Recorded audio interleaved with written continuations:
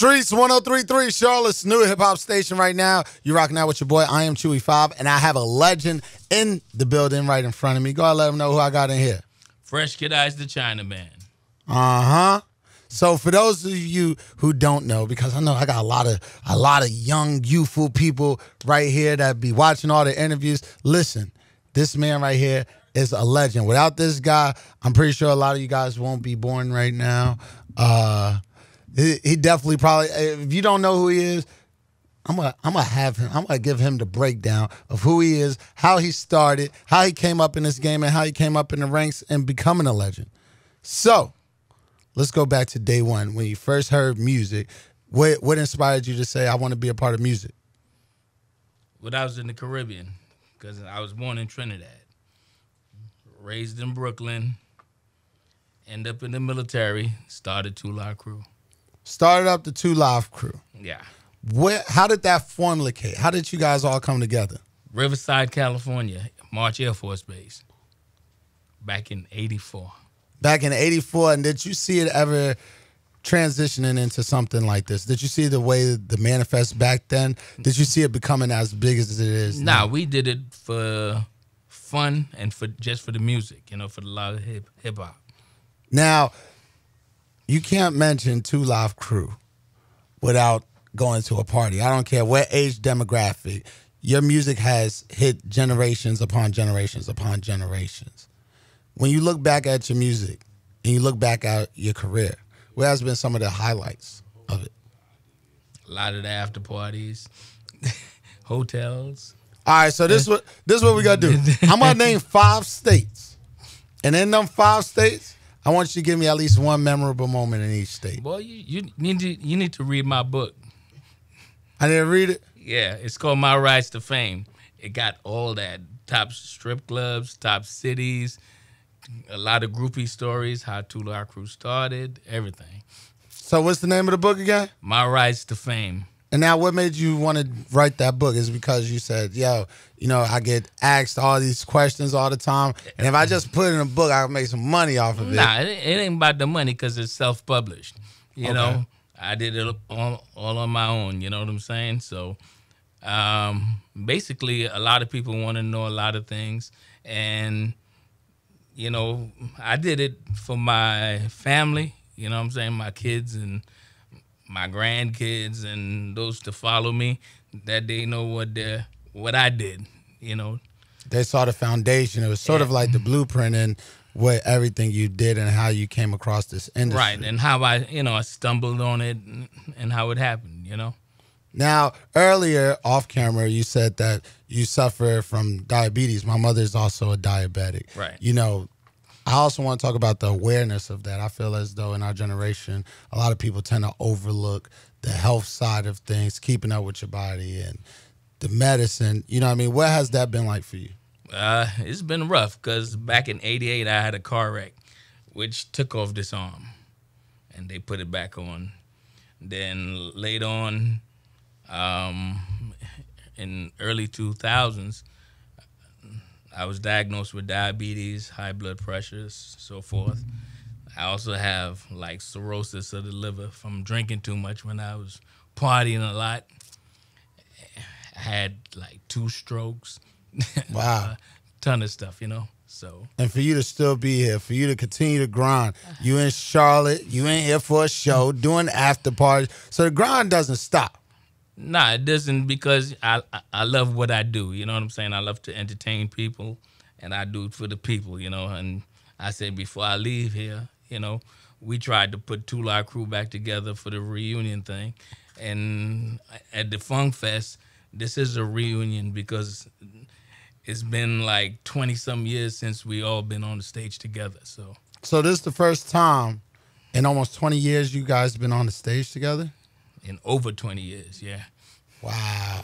yeah, this is the first couple shows that we've been doing, you know, the Funk Fest and stuff like that. Now getting the team back together, what does that feel like for you?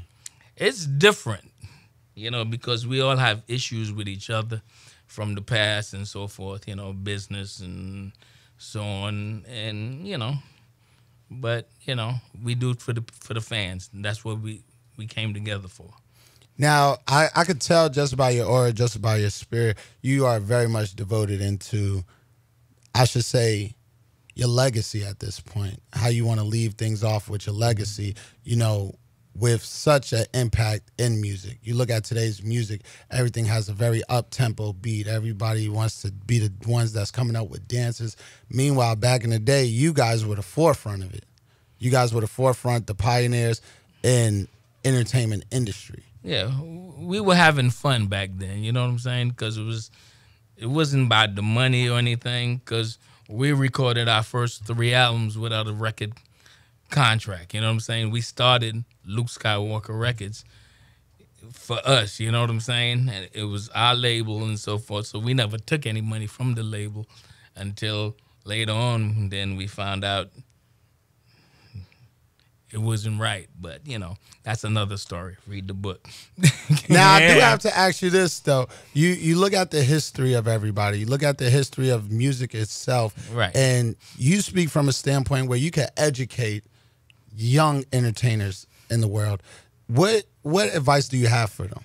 um, own as much of their music as possible and get good representation. You know what I'm saying? So that's where a lot of them, a lot of us, fail to realize. You know, because you know this industry once it's finished with you, if you're not educated enough to, and you want to continue your career and they don't need you. th- They can the label can drop you, but if you know how to run your own label and so forth, you have a career. You, You know can sustain yourself. exactly. Now, who are some people that you look up to now in the entertainment industry?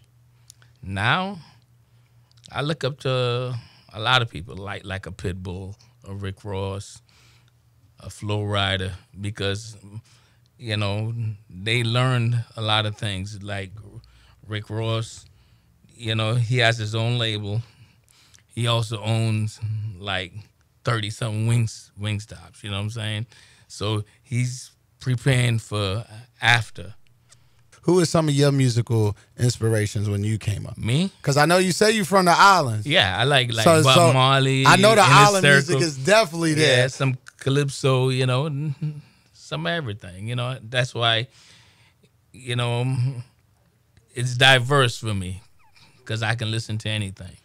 Now, seeing all you guys get back together on stage for this is it's got to be very much monumental. It, it, it, in a lot of aspects, it's definitely monumental. Twenty plus years, you guys haven't all been on stage. What is going through your mind right now? Moments before you touch that stage with your brothers. Um, I try to take it back to the old days when we used to have real fun on stage. You know, with the interaction.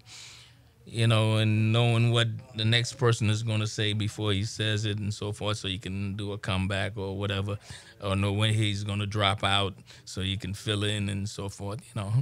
So you, you right now you locked in on the performance. You're like, Right. listen, I want to give my all to this performance. I want to.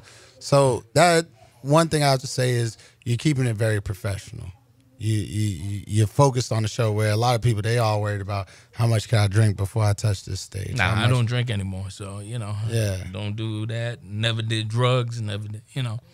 just keep it good. Just want to have fun. You know what I mean? I feel like in the entertainment industry, that's where it has gone away from nowadays. The Yeah, fun, the fun in music, the fun in parties, the fun in putting on a show has almost collapsed because everybody wants to look good. Everybody wants to be, you know, Yeah, and Someone they're not that- essential. That's one of the things I, I feel is wrong with the music today. You could take the music, leave it there. All you have to do is change the artist, and it's the same music. but not with the two live crew. Not with the '80s. I call it the golden era of hip hop because everybody had their niche. Everybody had their own lane. Everybody had their Exactly. own sound. Everybody wasn't using the same producer. You Right. didn't have to worry about that all the time. Because hip hop was so new and so forth, and it was beyond that. Now, outside of the golden years, what are your memorable moments? I have to ask you some of your most memorable moments on camera. I know you got the book, but I have to ask you some of your most memorable moments. Uh, I like doing, you know, big events like you know stadiums, that type of stuff like that. You know, um, performing at in Miami for the hometown. You know what I'm saying? Performing in the South. I remember coming to Charlotte a lot of times. Had a lot of beautiful women out there. You know, when it used to be what what it was, the old Charlotte um, thing. Charlotte Coliseum. Yeah, and they had this. You used to walk across from the Holiday Inn, right across the Coliseum. Yeah, and everything was right there. We used to stay right there and just uh, go there, walk around the people, touch them, feel them, feel their vibe. You know, Seeing your fans transcend into so many years of always supporting you. What are some of the things you look for nowadays? It's just like, do you look to say, I want to continue to keep pushing my brand? Do you look and say, you know, I just want to go off the past? Where, what are some of the things you look at? I'm looking for the right conclusion to the story so I can just hang it up. You know what I'm saying? So the right ending, you know, so maybe you know when we do put it down on film or something, you know, to leave that so people can see and learn and so forth so I can hang up the mic and I want to teach. You want to teach? Yeah, Teach I want to teach hip hop. Teach hip hop? Yeah, go to different colleges and stuff like that and teach. the teach real music, culture, yeah. the real culture. Because, like I said, looking at the old generation, I don't want to say old generation. Looking at the golden era versus the new generation. Because I came up in the in, in the seventies, you know, when the Enjoy Records and so forth, you know, in Brooklyn and all that type of stuff. You it was a completely it- different type of atmosphere. Exactly. Uh, uh, I could honestly say a different type of appreciation for music. Right. Where a lot of people have gotten away from the actual appreciation of the party and the actual appreciation of just listening to music and letting yourself go, having a good time, but not letting yourself go too far. Right. you know. But I do have to ask you in Miami, that's your hometown. There's so many different diversities. Like, So many, I should say, so many different ethnicities. Yeah, it's a melting melting It's, pot. it's yeah. definitely a melting pot for you. Do you feel as though with so many different diversities there, so many different ethnicities there, that's the word I was looking for. So many different ethnicities there. Do you feel as though that propelled you guys into Yeah. international stardom? It propelled us due to the fact that you know the people because you know music touches everybody you know what i'm saying? So to see everybody come together at in like a concert or something like that that's It gives you thing. chills, a little bit of chills behind the back. it's it's not just one culture. It's not just black or white or whatever. It's everybody Now you see you see that I feel like a lot of artists they get so consumed with themselves, they forget that feeling, they forget the meaning of why they're there. You guys started off California, correct? right California you guys started off making music. How long did it even take you to make the music? Cuz from what I hear it didn't take you guys long. Nah. It was it was pretty quick. Yeah, because you know we just the original group was myself, Mr. Mix, and Amazing Vee. We just took our money that we made in the military when recorded a couple songs. You know what I'm saying? We didn't have enough money to, to buy the tape, so we rented some tape. and after By the any second- means necessary, Right, got to do and- what you and got to then once do. we got our masters, okay, erase it. do what you need to and do. we took it to Macola Records, who distributed everything at that time on the West Coast, and paid them to put it out, press up the first 500 or whatever, send it out, and then from then on it just kept going. and it manifested itself into a legendary legacy that you have. Right. You definitely cannot mention Southern hip hop without mentioning you guys, even hip hop in general. I don't even want to categorize it to just Southern hip hop, but if there's definitely a Mount Rushmore of Southern music, you guys are definitely on the front forefront. I would say honestly, with people such as Outkast, people such as the Goodie Mobs, looking at things like that and how you guys transcended music into levels that at that time nobody has ever seen. What were some of your biggest burdens you had coming up? Um, basically, um, when nasty as they want to be was considered obscene and so forth, and how we had to fight for the right to put it out and so forth, being arrested for performing the songs and so, and so on. Like when we got arrested, that mm, getting the sticker put on the record and so forth. That was so big for music in a whole. On a at, whole, at that know? time, especially because you guys were the like I said, you were the forefront. You you guys continued to raise that bar, taking it to just levels of where you guys wanted to take it to.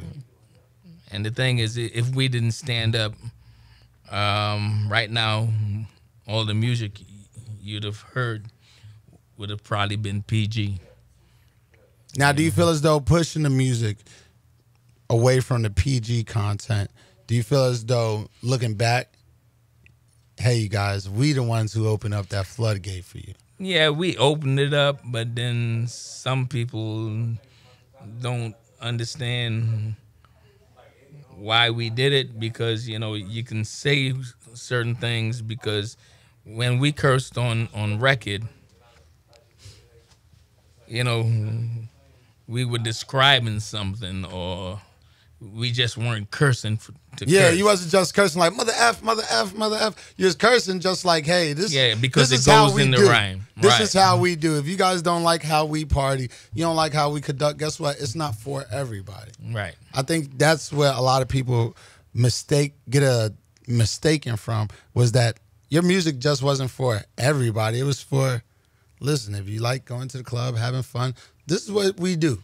This is what we do. It's either you can accept it or not accept it. Right. We don't care. But if you don't listen to it, hey, more power to you. it was the you. same as you know like how did they'll put out like um like a Redd Foxx record a Dolemite record and so forth that's the way we considered it definitely a pioneer and i just want to continue to educate you guys educate right here is someone that put his life on the line put his career on the line time after time and from my generation we thank you because without people like you without people such as yourself your crew uncle luke without you guys doing what you did at that time music in itself, we don't know where it would have been because when everybody was trying to put uh, control on it, trying to put put you guys in a in a hole as per se, you guys just wanted to show the world like, yo, this is what we do to have fun. This is we just want we just want to take that stress off, that everyday life stress from paying bills, everything else from someone being sick, someone going through anything. Right. When we are in these venues, we here for maybe four hours, if that, just to have fun, just to exactly take it it away off. from your everyday life you know what i'm saying now you look back and you know you've done it you've done it you've continued to push the ball anything you do now in my book you just added more to the legacy. Tell the people where they could get the book at though. They can go to amazon get it on amazon. Amazon.com is my rise to fame by christopher fresh kid ice wong yeah how did you get that name though? I'm half chinese half black. First asian in hip-hop Hey, history, y'all, history. Man, it's been a pleasure having you here. Before I let you go, I tell them every time you in the city, you rocking out with your boy Chewy on Streetz 1033, though. that's right Look, I'm trying to party the way you did. See, I try to mimic my party and hosting. I'm trying to get down to your level. You Oh, know what I'm man. saying? To, to Oh, your man. age level. Oh, you could do that. All you gotta do is come to the club with me. We got a party. I'm gonna show you how I party, so you could teach me. I got it, so I could be like y'all. Okay, no problem. We'll have one on each side. Y'all keep it locked right here on Charlotte's new hip hop station, Streetz 1033. Buck TV, what up? Yo, check it out. It's Fresh Kid Ice, Two Live Crew. Keep it locked to Buck TV, all right?